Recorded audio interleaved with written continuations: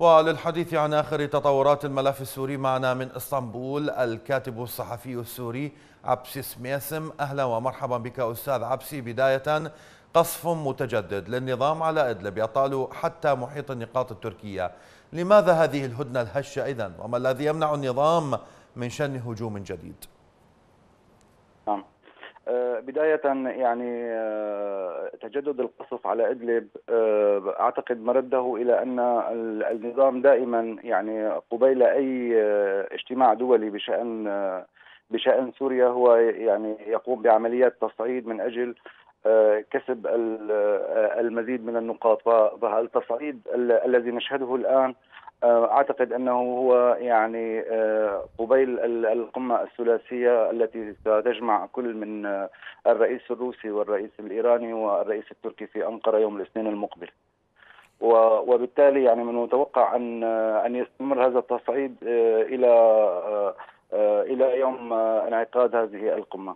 حيث أن يعني كما شاهدنا في في السابق أن تركيا هددت بموضوع اللاجئين.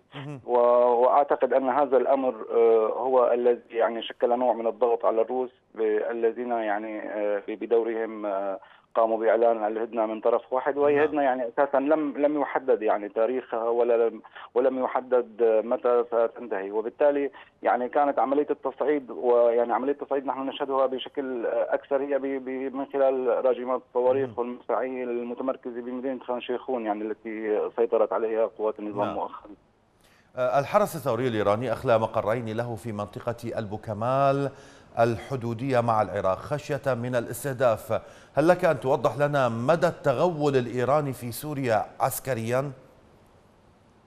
نعم يعني نحن نعلم أن الإيرانيين يعني آه، يسيطرون يعني ب يعني بالتوازي على على قرار النظام السوري أساسا بالبداية ومن ثم هم يسيطرون من خلال ميليشيات طائفية يعني آه، تدعمها إيران في سوريا أو من خلال ميليشيات يعني آه، آه، إيرانية بشكل مباشر تدعم من الحرس الثوري الإيراني.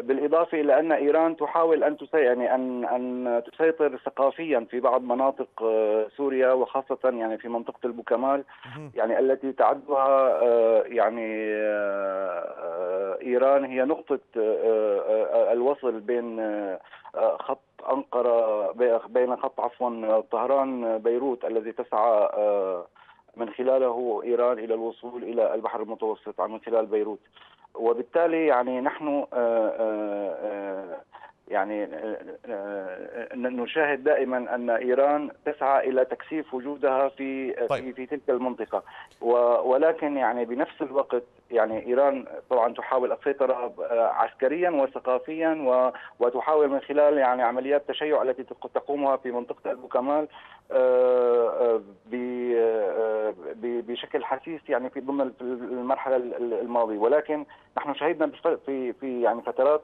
يعني متعددة ضمن نفس المنطقة. هناك تهديد أمريكي يعني مستمر لهذه المنطقة وحتى تهديد طيب. إسرائيلي كمان. بالنسبة إلى الولايات المتحدة الأمريكية واشنطن أكدت أنها لن ترسل قوات اضافيه إلى سوريا للمشاركة في الدوريات المشتركة مع تركيا هل ما وصلت إليه خطوات المنطقة الآمنة كافية بالنسبة إلى تركيا مع بقاء الميليشيات الكردية على جزء كبير من حدودها الجنوبية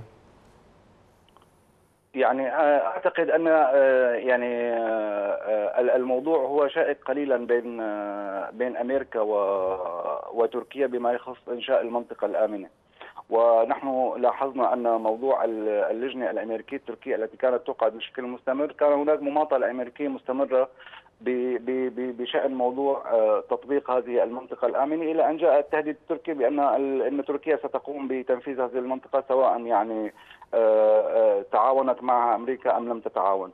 آه، أعتقد أن يعني التنسيق الأمريكي التركي يعني يعني يأتي بالتزامن مع يعني إرسال مزيد من التعزيزات الأمريكية إلى قوات سوريا الديمقراطية في المنطقة.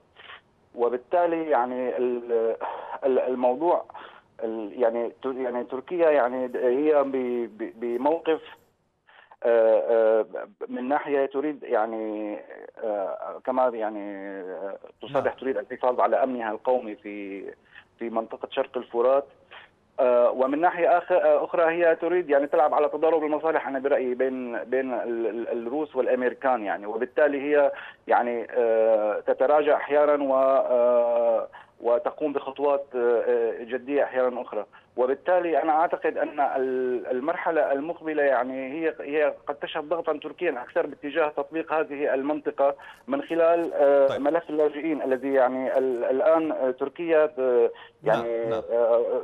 يعني تصرح فيه بشكل يعني بشكل شبه يومي وتهدد فيه من خلال دول الاتحاد الأوروبي التي يعني يعني تحاول من خلال هذه التصريحات أن أن تدفعه لاتخاذ موقف يعني يؤيد الموقف التركي بما يخص سواء المنطقة الامنه أو من خلال يعني فرض اتفاق وقف نار في ادلب. الكاتب الصحفي السوري الأستاذ عبسي سميسم كنت معنا شكرا جزيلا لك.